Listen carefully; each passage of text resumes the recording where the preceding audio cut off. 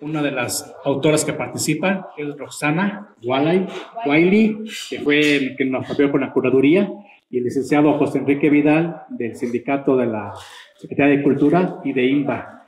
Eh, le paso el micrófono a Roxana para que nos explique un poquito la temática y la composición. Bueno, primero que nada, buenas noches a todos y bienvenidos a esta exposición bellísima. Y bueno, una felicitación también aquí Antonio, que ha hecho posible esta exposición del caballo.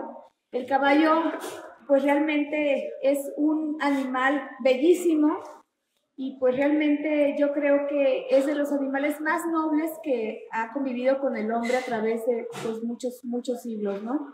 Entonces, pues para, para mí es un honor estar con ustedes. Veo gente conocida del medio de, de hace mucho tiempo. Hay gente muy valiosa. Realmente yo quiero que disfruten mucho estas obras.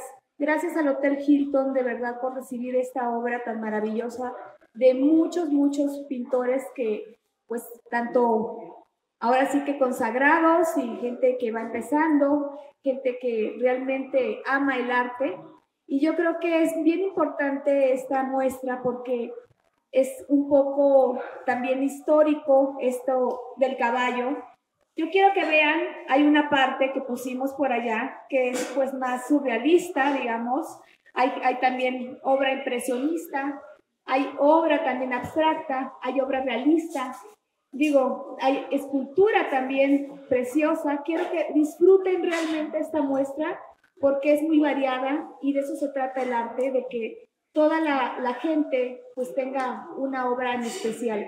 Visiten también la parte de arriba que está muy bonita también, hay muchas obras, no, nos cupieron muchas aquí, por eso realmente los invito a que, a que se den una vuelta, que tengan oportunidad de conocer toda, toda la obra.